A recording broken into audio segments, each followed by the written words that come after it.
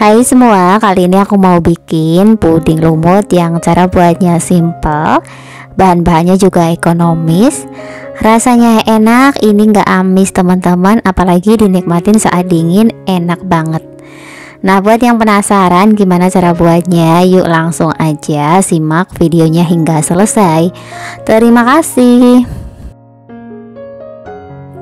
untuk cara membuatnya simpel aja Pertama siapkan panci Kemudian masukkan dua bungkus bubuk agar-agar warna putih. Ini kemasan yang 7 gram. 200 gram gula pasir manisnya sesuai selera ya. Kalau suka manis silahkan bisa ditambah lagi. Kalau kurang suka manis bisa dikurang untuk gula pasirnya. Sebelum dikasih bahan cair ini aku aduk terlebih dahulu Supaya bubuk agar dan gula pasirnya kecampur merata Habis itu aku tambahkan dengan 1 liter santan. Untuk santan aku pakai dua bungkus santan kera instan yang aku tambah menggunakan air putih biasa ya.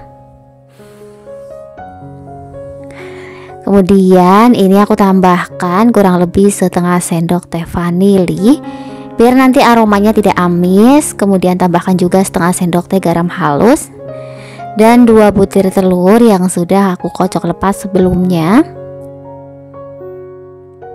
Tambahkan juga perisa pandan secukupnya. Kalau nggak ada perisa pandan, bisa gunakan uh, daun pandannya langsung atau pewarna makanan warna hijau aja juga boleh, tidak masalah. Nah, ini diaduk hingga perisanya kecampur rata dan bubuk agar-agar dipastikan tidak ada yang menggumpal di dasar uh, panci ya.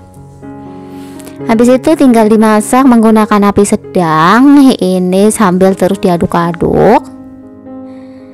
Nah, ini setelah mendidih untuk lumutnya sudah kelihatan ya, ini udah mateng. Kemudian langsung aja dimatikan api kompornya, aduk-aduk hingga uap panasnya sedikit berkurang. Habis itu aku siapkan cup puding. Ini aku gunakan ukuran yang 90 ml.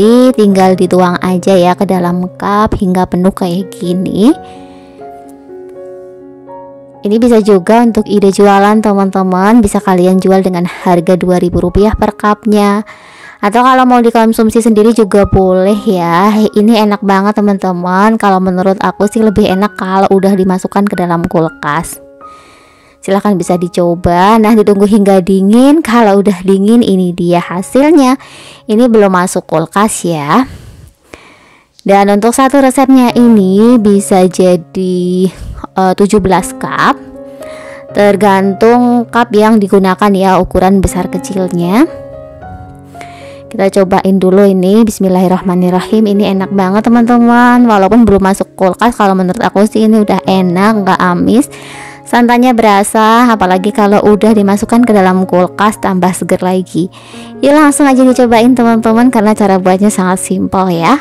Sekian dulu tutorial dari aku, semoga bermanfaat dan terima kasih sudah menonton videonya hingga selesai. Wassalamualaikum warahmatullahi wabarakatuh.